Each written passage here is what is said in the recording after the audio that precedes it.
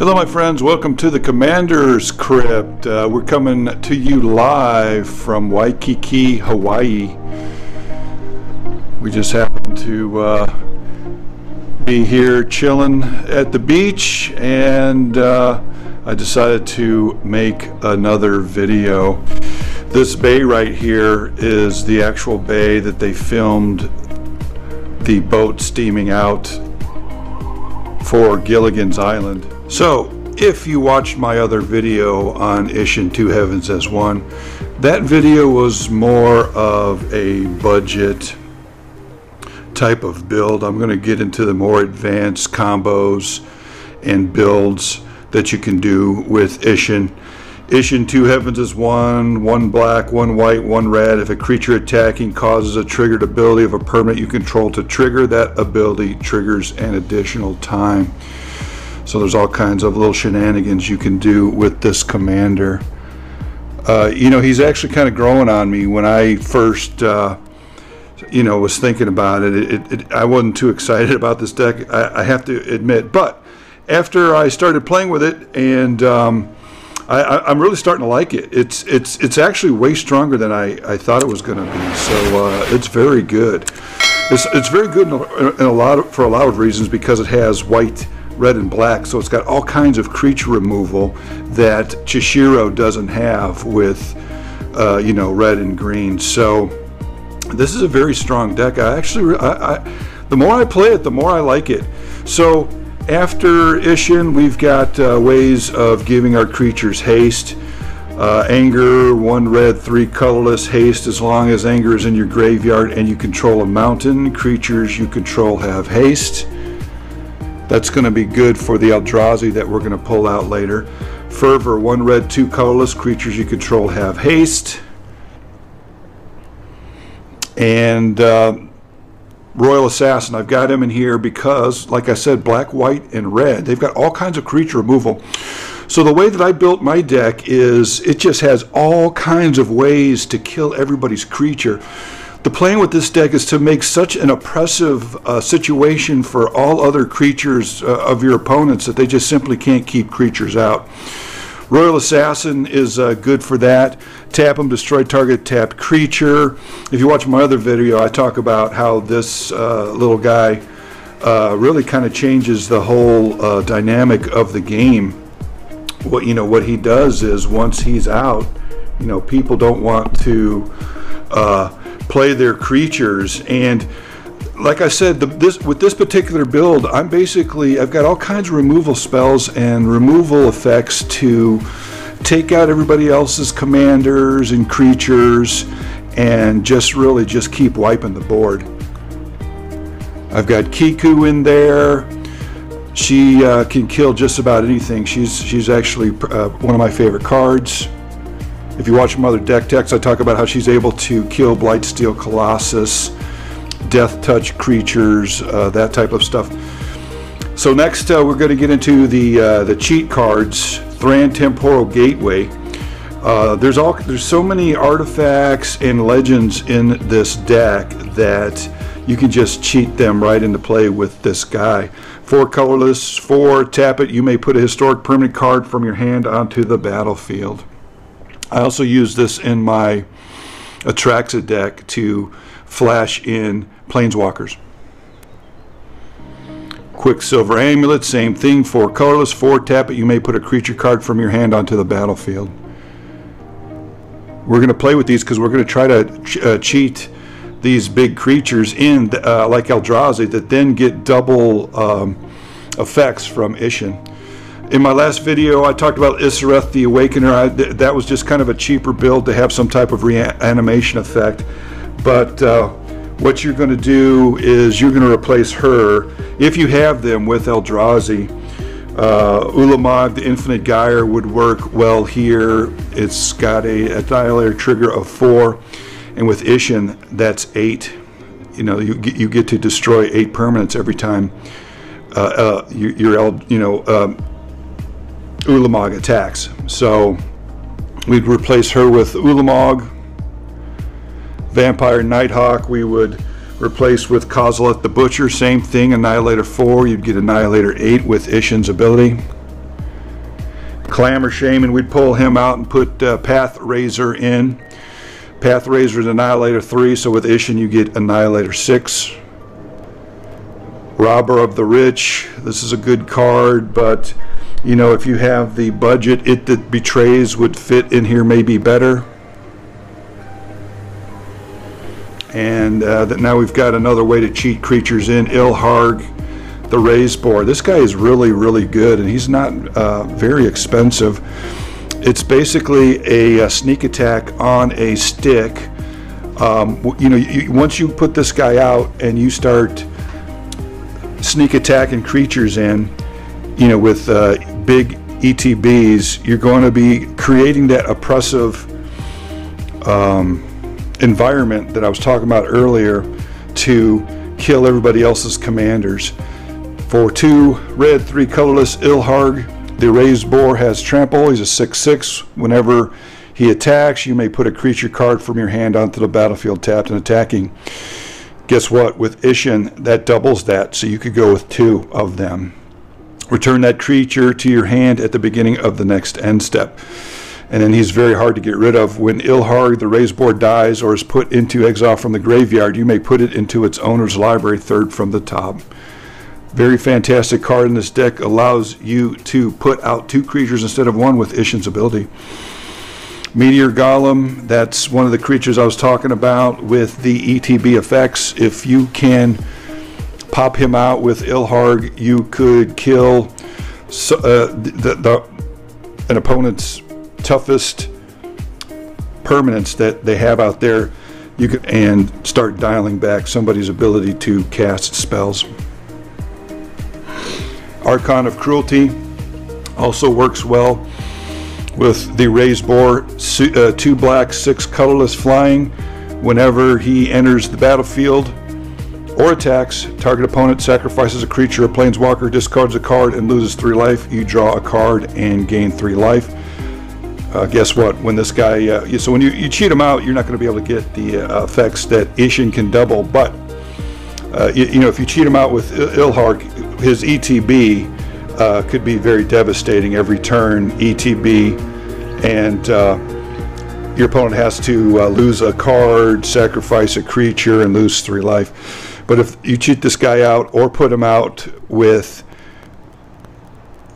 some of the other ways I'm going to show you once he started attacking again with Isshin's ability, everything he does doubles. So you'd get to uh, draw two cards, gain three life. The uh, opponent would sacrifice two creatures and discard two cards and lose six life. So very, very good in this deck. Next, Drakuseth, Maw of Flames. Uh, same thing. This guy's got an attack trigger that Isshin can double. Again, creating an offensive, you know, a very oppressive environment for everybody else's creature. You're just going to be killing everything that's on the board.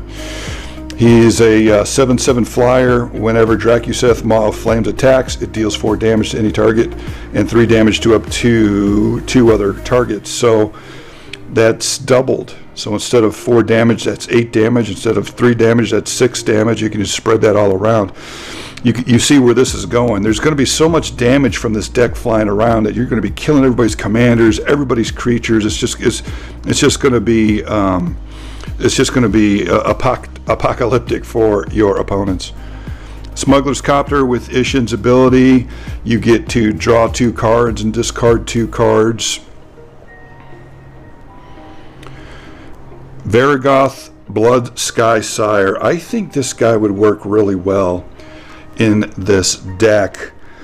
Um, I actually uh, replaced Esper. You, you, could potentially replace Esper, Center, uh, Esper Sentinel with this guy because Esper Sentinel draws you a bunch of cards, but Esper Sentinel is uh, pricey.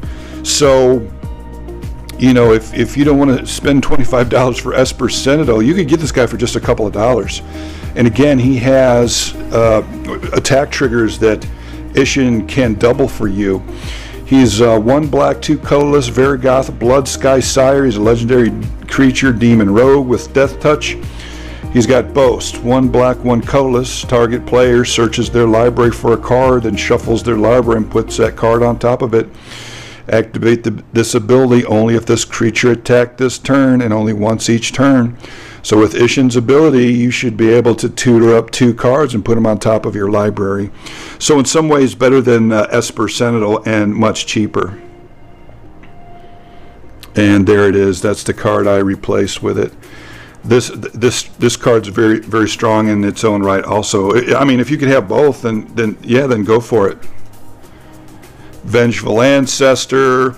He has a very good trigger with Isshin, two black, two colorless, flying whenever Vengeful Ancestor enters a battlefield or attacks, go target creature. And whenever a goaded creature attacks, it deals one damage to its controller. So with Isshin, you're going to be able to go two uh, creatures. You're going to go the two biggest creatures, and it's going to be they're going to be attacking your opponents and not you. And when that creature attacks, you will be doing two damage to its controller. Emberwilde Captain, very strong in this deck. One red, three colorless. When Emberwilde Captain enters the battlefield, you become the Monarch. Whenever an opponent attacks you while you're the Monarch, Emberwilde Captain deals damage to that player equal to the number of cards in their hand. With Isshin, that doubles. If they got three cards in their hand, they're going to get uh, burned for six. If they've got four, they're going to get burned for eight. If they've got a huge grip, they're going to get burned for 14. So this is a very, very good card in this deck with Isshin's ability. Brutal Horde Chief. I'd pick some of these up. They're not too expensive. One black, three colorless. Whenever a creature you control attacks, defending player loses one life and you gain one life. So for each creature you have, your opponent will lose a life and you'll gain a, life. But with Isshin's ability, that's going to be doubled. This guy also helps kill, uh, you know, other creatures on the board with his secondary ability with uh, red, white, red, white, hybrid, and three colorless. Creatures your opponents control block this turn if able, and you choose how those creatures block. So you can, you know, fi fix the blocks to where their commanders and other uh, creatures die. There, there's so much removal in this deck. It, it, your opponents aren't going to be able to keep their commanders out, and you're going to just be, you know, destroying all of their creatures.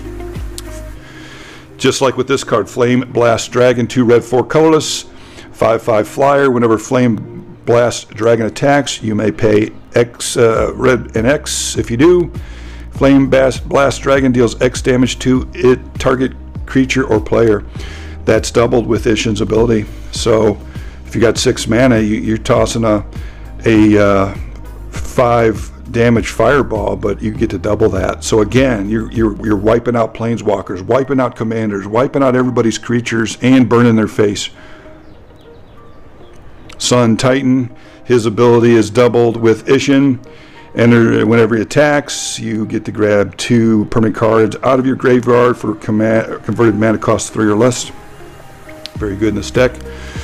And of course, uh, this is the more advanced play. Aurelia, the war leader, with Isshin, you, you, you get you'll get three combats with her. Uh, two other good cards to put in this deck would be Combat Celebrant and Godo. Because if you if you're going to have Aurelia War Leader in your deck and you've got ways of drawing cards and tutoring for cards, you could actually tutor up, uh, you know, Godo, or you can use Godo to grab Helm of the Host, or you could grab Helm of the Host after you tutor. Connect it to Aurelia the War Leader, and you've got infinite combat steps. Isshin allows you to get three with her, but if you put the Helm of the Host on her, you've got infinite combat steps. Sky Sovereign Consul flagship with Isshin's ability again when it comes into play, you get to bolt something. When it attacks, you get to fire off two two lightning bolts. So that's uh, six damage. Again, like I said, you're going to be slinging around so much damage that it, people are just going to have a hard time keeping their their commanders on the board or any other problematic creatures. Parhelion 2 with Isshin's ability, and you can cheat this in with Thran's Temporal Gateway, or uh, and then once it's out, it it it, this is a very devastating card. You know, uh, like I said earlier in my other videos, you, you swing once with this and it's 21 damage, and you've got four angels with vigilance that can now block. And then next turn, you know, two rounds and somebody's dead, but then you've got, you know, eight angels with vigilance out there. Very good card in this deck. Like I said, the more I play this deck, the more I, I really like it. I, I um, I'm I'm convinced. I, I, you know at first I didn't I didn't get it. I have to admit I didn't get the hype up with this with this with this commander, but I do now. Etali Primal Storm. This guy is strong two red four colorless. Whenever Etali Primal Storm attacks, exile the top card of each player's library. Then you may cast any number of non-land cards exile this way without paying their mana costs. You know if you're playing in a pot of five or six or seven guys and um, you know, you, you, get this guy out and attack with Isshin's ability, you're going to let's let's say there's five other players other than you. You're going to get you're going to get ten cards. That's backbreaking. You know, you're you're you're going to be grabbing all their permanents, and you're going to be you know maybe using their own removal spells against them. Very very good card in this deck. Kardur, Doom Scourge, one red, one black, two colorless. Again, you get the goat creatures, so if you keep ETB in this guy with Ilharg, you'll just keep goading creatures and, and everybody will be attacking each other and not you. And Isshin, the last uh, sentence says whenever an attacking creature dies, each opponent loses one life and you gain one life. Well, that's doubled with Isshin's ability. They'll be losing two and you'll be gaining two. Uh, this this is a very cheap card, Nefarox, Overlord of Grixis, two black, four colorless with Isshin. You could attack with just him, and he'll be a 6-6, and then the defending player has to sacrifice two creatures. Again, like I said, you're going to be slinging around so much death and destruction, people aren't going to be able to keep their creatures out. Health, Fire Hellkite, two red, six colorless. Whenever a dragon you control attacks, put a 6-6 red dragon creature token flying on the battlefield with Isshin. That's going to be doubled. You put it, you put this guy out. Let's say he's the only dragon out there. You swing in with him. Boom! You get two 6-6 red dragons. Next turn, you you attack with all three dragons, and now you double that. Now you put six down, and it is it just spirals out of control for your opponents after that. Triplicate Titan. We've got this guy in here uh, as a blocker, he can. Uh, uh, he's a nine ball, and uh, he has flying vigilance and trample. You can cheat him in with Thran's temporal gateway, or with the Quicksilver amulet. Oh, and, and, once he's out, he's he's got flying vigilance and trample, so he'll be able to block for you. And then when he dies, he basically creates three three three creatures: one with flying, one with vigilance, and one with trample. Scourge of Kher Ridges. This guy is a pyroclasm on a stick for one red, one colorless. He deals two damage to each creature without flying. Uh, and you can, you know, you could keep uh, ticking that up with uh, two red, two colorless, four damage, three red, three colorless, six damage. So again, you're going to be creating a situation where nobody else is going to be able to keep any creatures out on the board. Uh, and he, he also kills flyers, one red, five colorless. He deals six damage to each other creature with flying. You don't get any buffs or, or uh, help with Isshin, but still very strong card. And now we get to the bomb portion of the deck. Sword of the Animist is going to trigger twice with Isshin. Equipped creature gets plus one, plus one, but whenever equipped creature attacks, you may search your library for a basic land card, put it on the battlefield, tap, and shuffle your library.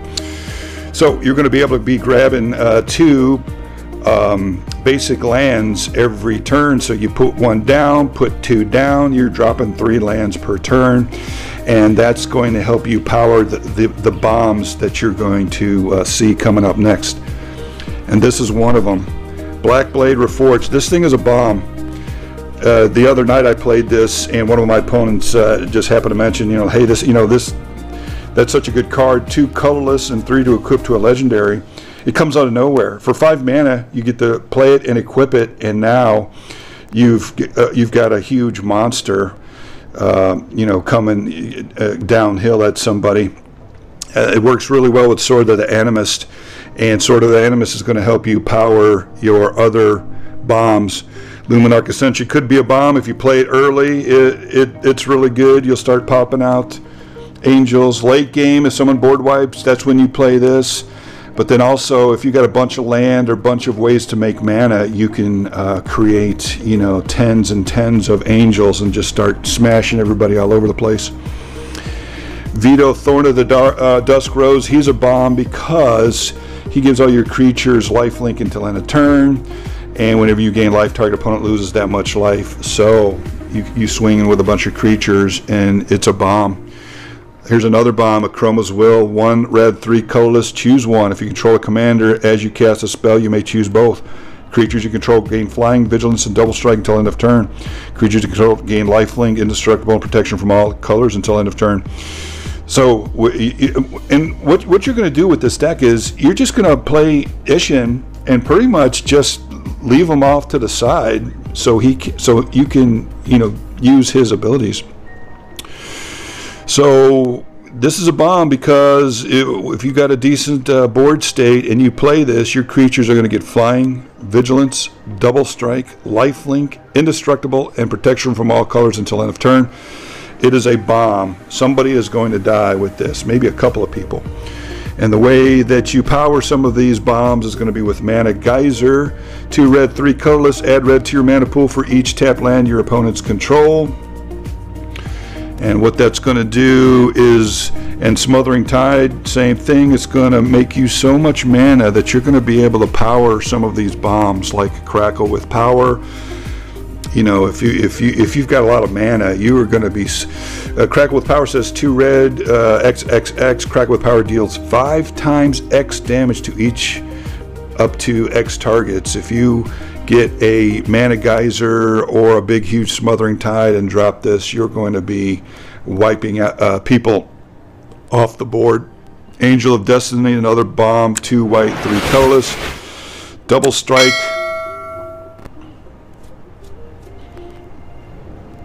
Whenever a creature you control deals combat damage to a player, you and that player each gain that much life. So what what what you do with this is you attack all your creatures get life link. So does your opponent, but he doesn't gain any life. You gain all the life. And then if you're at 55 or above in your life total, at the beginning of your end step, if you have at least 15 life more than your starting life total, each player, Angel, Destiny attack this turn loses the game.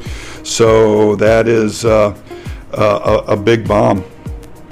Speaking of bombs, here's Gisela. The way you play her is, uh, you know, if you got a bunch of mana, you have a board state. You don't even have to attack with her. You could just play her and then swing out, and everybody uh, deals double their damage. So Flame Blast Dragon gets double fireballs.